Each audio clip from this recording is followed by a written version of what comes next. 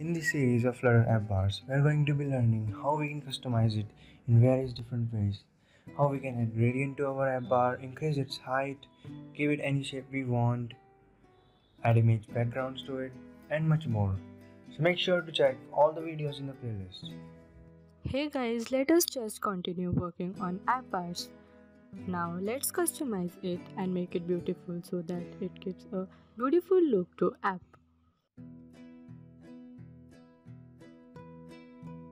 First, let's just change this boring accent color.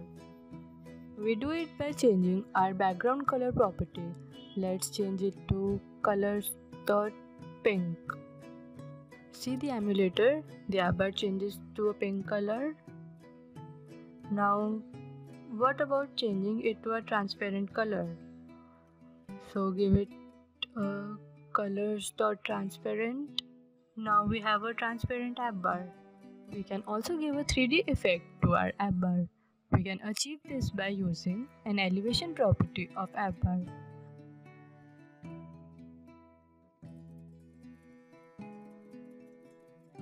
So here you can see our app bar is little bit elevated here. We can also give it a shadow color.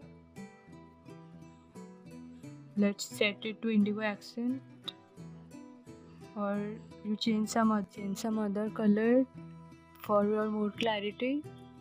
So here we can see the effect of elevation properly. We also have some other properties such as brightness. If we change our bar to brightness dot dark let's see what happens.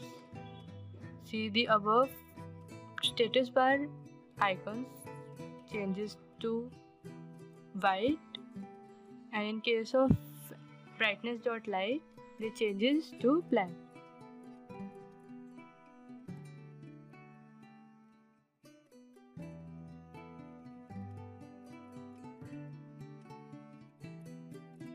so let me just have summary for this video.